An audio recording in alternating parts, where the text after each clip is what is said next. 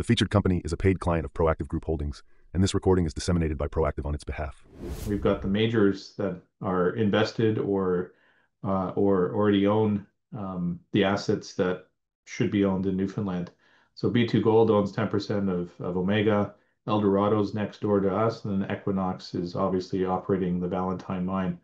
So the gold price certainly helps. And again, I, as I mentioned, I believe this is the next mining district in Newfoundland. All right, welcome back inside our proactive newsroom. And joining me now is Sam Pazuki. He is the CEO of AuMEGA Metals. And Sam, it's good to see you. How are you? I'm doing well, Steve. Good to see you as well. Yeah, so I know you've had some some exciting news out. We'll talk about it in just a second, all based around your your project in Newfoundland. But let's remind everyone a little bit about this project. It's a it's a very important one to the company.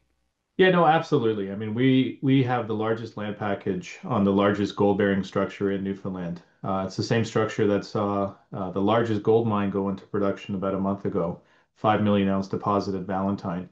And so we we hold 110 kilometers of strike on the same structure. Uh, much of the previous exploration work has been done on a project that we have called Cape Ray. And as we have been finding out over the last couple of years, a lot of that a lot of that exploration effort actually was within the deposits themselves and not so much in terms of regional exploration. So we've been very focused on building a pipeline of opportunities on what I believe is going to be the next mining district in Canada. And so you've now released some results from a, a geochemistry program, and this was on an area that really hadn't seen uh, any testing really at all. Is is that accurate? Oh, that's right. As I mentioned, um, you know, we've got a resource, 610,000 ounces at 2 gram, shallow mineralization, uh, good start. Uh, but when you look at the history of exploration uh, and the drilling that's been done on the project, 99% of the drill holes have actually been inside the pit shells.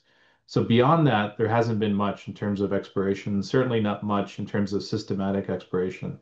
So over the last bit, we've been doing a lot of analysis of Cape Ray as well as the other projects we've gotten in the portfolio. And what we found again is is just a lack of data. And there's some interesting structures, uh, particularly in an area called Cape Ray West. Um, and we we did a large till program there over the summertime, uh, completed it in August, and now we're starting to get. Well, we got the results back and we just put that out, but a lot of the work we've been doing in the summer is starting to come out, and the results are tremendous. Uh, we've got very high grade gold-in-till values uh, multiples of them sitting along major structures that we've identified through the geophysics, but also from the, the mapping and prospecting work that we've been doing. So everything is starting to line up, and we've basically identified a new multi uh, kilometer gold corridor in Cape Ray West.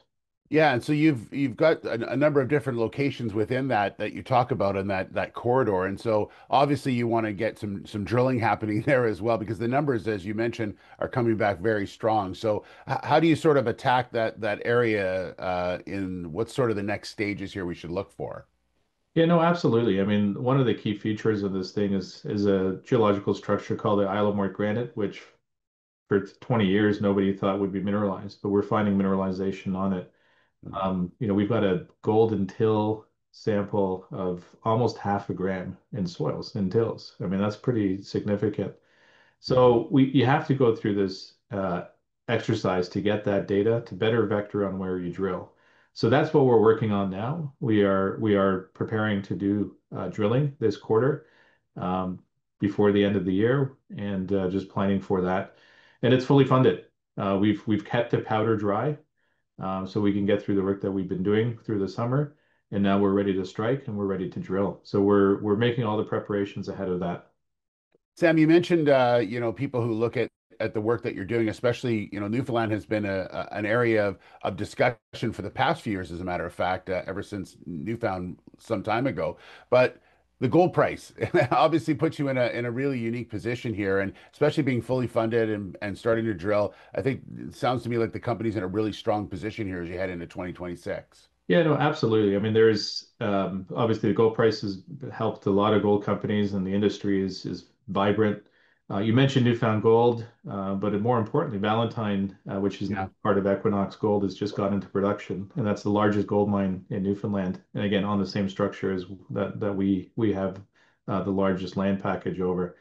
Um, we've got the if when you look at the map of Newfoundland, you look at where we are. We've got the majors that are invested or uh, or already own um, the assets that should be owned in Newfoundland. So B2Gold owns 10% of, of AuMEGA. Eldorado's next door to us, and then Equinox is obviously operating the Valentine mine.